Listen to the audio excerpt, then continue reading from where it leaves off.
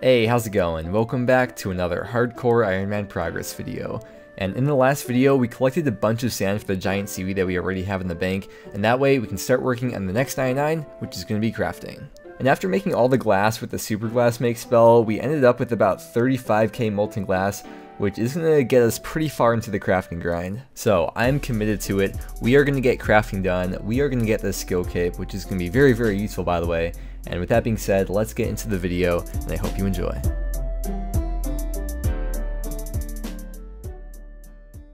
All the magic XP we got from doing the super glass make spell got us to 463k to 99 magic. That's uh, pretty good, actually. A lot more than I was expecting.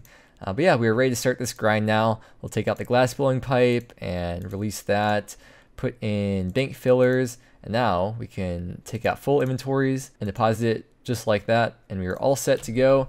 Start making the option 8 here, the light orbs. There is no use for these, really. I mean, there is technically use, but there's really no good use, I guess, to use for these. They're just going to pile up in the bank, get 70 XP each. And yeah, it's to be a nice, fun AFK chill grind for the next I don't want to think about the hours. It'll be a fun grind. Let's get this thing started. Oh yeah, I also like to hide the deposit worn items button here so I don't accidentally deposit my worn items, which is exactly what it sounds like. Yeah, I could uh, wear my fashion scape too. I don't know how many farm runs I'll be doing while I'm doing this because I don't want to get too distracted. But I guess I probably should be doing farm runs since I got an anima seed planted. And we do still need a lot of herblore XP. First crafting level, finally back into the grind. We are getting 96 crafting. I would say first of many, but there are not many left to go at this point. We've got three more levels to go, which is 3.4, 3.35 mil XP left for 99, which is a lot, kind of. I don't know what it is, but there's always something so satisfying about seeing the digits switch up to 10 mil XP. It's a beautiful sight. As I was saying before, I do still have to get about 1.3 mil more crafting XP uh, beyond what I already have banked uh, in the bank right now.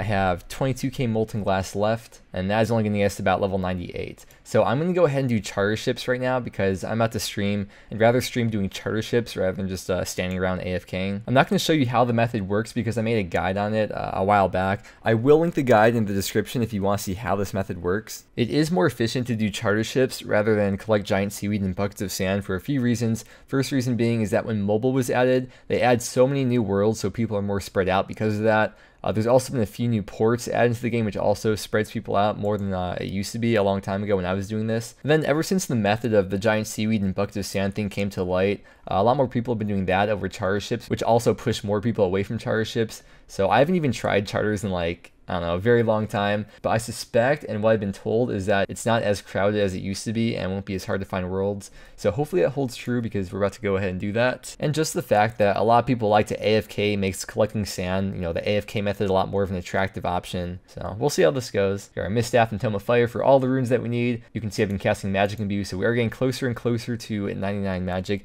In case you were wondering, the only reason why I'm casting this is because it gives Magic XP. Uh, there is no other reason to cast this spell unless you're rune crafting. So yeah, just trying to get as close as possible to 99 magic. When crafting light orbs at charter ships, they're not tradable, so I have to drop them every single world, which is kind of annoying because all the other lower tier items you can just sell back to the shop. But even after taking the time to drop them, it's still faster XP than doing the lower tier items, although it is of course way more click intensive. The XP per hour of doing this method with light orbs, I believe is around 90k XP per hour if you're doing this at almost max efficiency, which is not taking into account the fact that other Iron Men could be doing this method.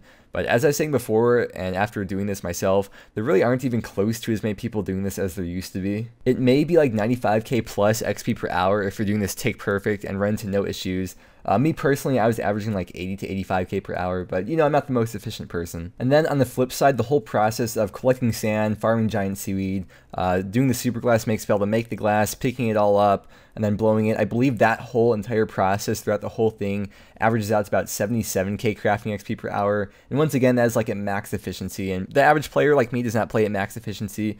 So I guess it's like 77k XP per hour versus 90k XP per hour. So charter ships are better XP, it's just not as AFK. And then as for the magic XP, I'm doing two imbues per world, which is 86 XP each, and then the super glass make spell, which is 78 XP, and that comes out to a total of 250 magic XP per world. Uh, unfortunately, I wasn't actually keeping track of the magic XP, but I think I was getting around 20k per hour or so. As I suspected, it wasn't too bad here. I didn't really run into many people. I think I saw one or two people this whole time. Uh, but there we go, 97 crafting, and uh, we are now on to the final level. 22, 25 total, by the way, huge milestone. Heck. Here it finally is, 98 crafting. We're finally on the last stretch for crafting. Uh, we still have about 10k molten glass in the bank, so I'm not completely stuck at charter ships. Uh, we've been getting some pretty decent magic XP as well. We are under 300k to the magic level, which we are not going to get by the time we get 99 crafting. But yeah, let's uh let's keep on doing this. Oof. So we are coming up on the last inventory of molten glass. Not for 99, but the last inventory of molten glass at charter ships. We have about 500k XP in molten glass banked right now. So after we finish up with this, we're going to go back to the bank and finish it all up, bank standing with what we already have in there. Uh, we are getting pretty close to the magic level, 170k to 99. I'm not going to get it now, but I am going to be finishing it off with alking. Farewell, charter ships. It was nice knowing you, but now I will never see you ever again, except to probably buy pineapples for ultra compost. But hey. No more charter ship crafting. I have to get a, uh, a brown apron to get into the crafting guild as well. So there should be one on the tool rack right here based on the brown apron. That's right there. So sweet, now we can finish off crafting. So 500k XP to level, gonna be finishing off the last 500k XP here in Land's End, my favorite bank in the game. This whole area is just so beautiful and very nice, very well made. A lot of uh, Easter eggs and hidden stuff here. It's just really nice. I like this place a lot. So that means we've got between 4 and 5 hours left for the 99. Uh, as I was saying before about finishing up Magic, we are going to be alking, but I'm not going to keep on alking the maple longbows I have in the bank. I have another plan, which I'm not going to get into in this video. It's going to be in the next video, but I have a plan to get us a lot of money, and hopefully it should be all the rest of the money that we need for maxing. I think we'll probably need like 60 or 70 mil, depending on what methods I do, uh, to max the account, and we currently have 56 mil, and that should put us at just the right amount to max, but we'll see how that goes. Anyways, I will see you back with the level, unless I get the pet doing a farm run or something. It looks like we had pretty much just enough molten glass to get to 99. Uh, I'm not going to get it right here. This should leave us one uh, extra molten glass away from 99. I'm going to get the 99 crafting in the crafting guild. But yeah, it's pretty clutch. We got 16 molten glass left. Here's the final piece of very special molten glass. I'm just going to use my construction cape, by the way, to get to the Rimmington House portal and run from there. In order to get into the guild, you have to either be wearing the crafting skill cape or be wearing a brown apron. And obviously we don't have the crafting skill cape yet, ask me in a minute.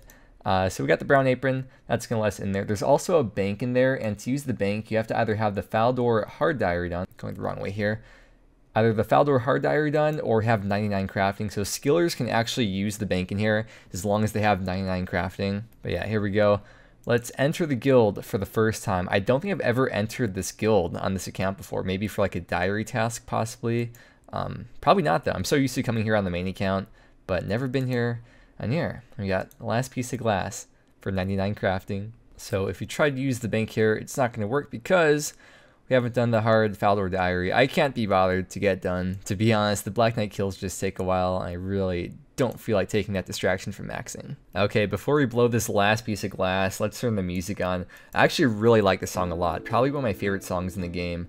Uh, if you guys watch Rarg, this is actually his outro song for these videos. But anyways, here we go. The last piece for 99 crafting.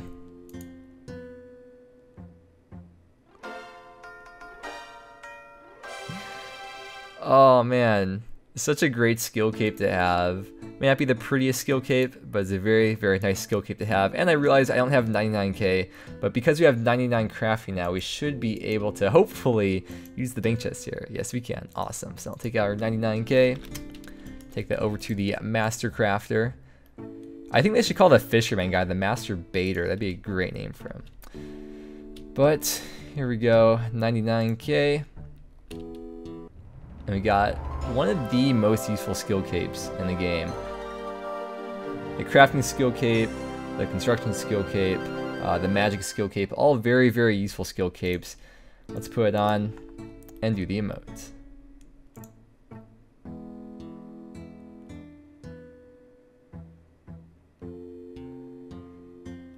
Oh, it's so good. And with the skill cape, if you use it to teleport, it teleports you straight here to this exact spot every single time.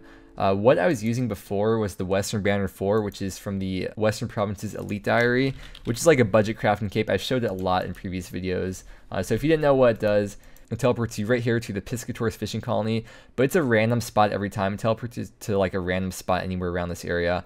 The farming cape is also a pretty close teleport now with the farming guild, but I'm like 99% sure this is closer, even if you spawn over here. I'm pretty sure it's a lot closer to the bank. And this dude does walk around too, which is a bit annoying. But yeah, we probably won't really need this for anything else. Got the crafting cape now, teleports us straight here to the crafting guild. New best in slot teleport. We can now use this cape to collect buckets of sand faster in the future, right? I don't know, man. It's nice to be done with this skill, have it out of the way, and we can move on to the next grind. Man, we are so close yet so far from maxing. 50 more levels to go. Give it a few more months, we will get there. But thank you very much for watching. I hope you enjoyed, and I hope that you have a great day, and I will see you again next time. Please subscribe. I'm lonely.